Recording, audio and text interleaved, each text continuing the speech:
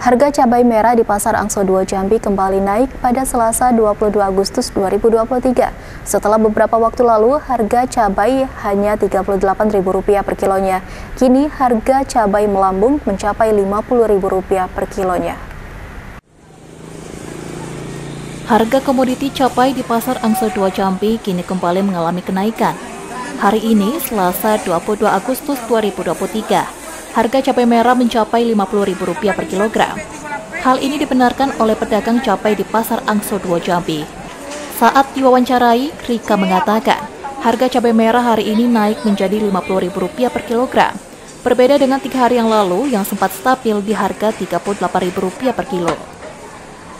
Rika juga membeberkan dalam dua hari terakhir dirinya mengalami penurunan omset akibat kenaikan harga yang sangat tinggi, sehingga menyebabkan pembeli lebih memilih untuk membeli cabai dengan jumlah yang sedikit. 50 ribu. Kalau beberapa hari sebelumnya? Hari minggu kemarin masih oh, 38.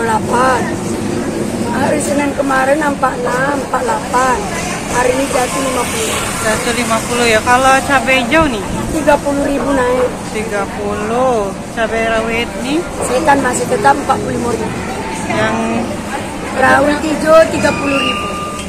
Pembeli kayaknya beli sedikit-sedikit.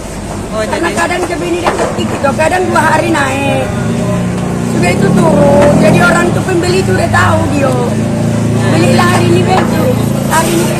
Besok mana tahu turun kata pembeli itu jadi mereka beli sedikit-sedikit.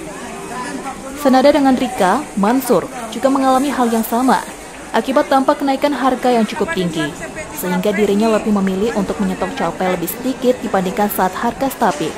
Jual 50 sama 48, tergantung bentuk barangnya. Cabai merah 50 ya? Kalau cabai Jawa modal modal Pak Bejo, ah. jual 50. Rawit hari ini berapa nih? Kalau rawit hari ini modalnya 25, 26. Dua hari 32, 28. Kalau modalnya 26 jual 28. Kalau modalnya 26 jual jual kan 30 orang 28. Kenaikan harga cabai tersebut disebabkan oleh menurunnya produktivitas cabai di sentra-sentra produksi seperti lokal, Bengkulu, dan Jawa Tengah. Sementara itu, untuk harga bahan pokok makanan lainnya seperti telur ayam mengalami penurunan harga dari 3.400 per kilogram menjadi 2.800 per kilogram atau sebesar 1.600 yang disebabkan bertambahnya pasokan. Ayam potong yaitu cenderung relatif tinggi di harga Rp32.000 per kilogram. Namun dalam beberapa hari terakhir masih terpantau stabil dan Rp130.000 per kilogram untuk daging sapi. Lina Liska, Cek TV, melaporkan.